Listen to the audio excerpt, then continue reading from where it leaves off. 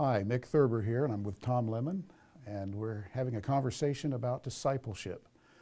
You might have noticed that the theme for the Outlook magazine for 2014 is discipleship. And to start it off, Tom, you wrote a wonderful article to get us started on that theme. Can you say a bit more about how that theme came about and why we're emphasizing discipleship this year? We, uh, we have really aimed hard and effectively at getting people to make a decision but to what? Mm. Or better, to who or to whom? Discipleship is, pro is process oriented, and everyone who decides for Jesus becomes his disciple.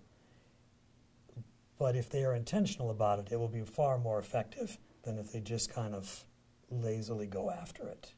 So, discipleship really is an all encompassing theme for what it means to walk with Jesus in the 21st century.